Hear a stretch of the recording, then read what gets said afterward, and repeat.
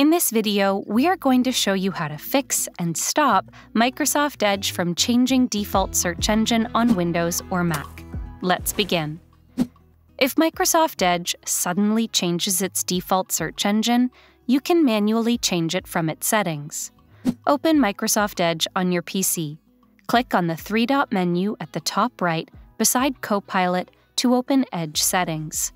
Click on Search and Services in the left sidebar and click Address Bar and Search. Click the drop down list next to the search engine used in the address bar and set your desired search engine. That's it. Lastly, corrupt browsing data can also trigger Edge to change its default search engine. Try clearing all Edge browsing data. To do that, open Settings by clicking on the three dot menu and select Privacy and Security in the left sidebar. Click Choose What to Clear next to Clear Browsing Data Now. Set Time Range to All Time. Check these boxes and remove them by clicking Clear Now. That's it. These fixes should solve the auto change of the default search engine on Microsoft Edge. For more tech tips and tricks like these, subscribe to Guiding Tech and discover one of these videos handpicked just for you.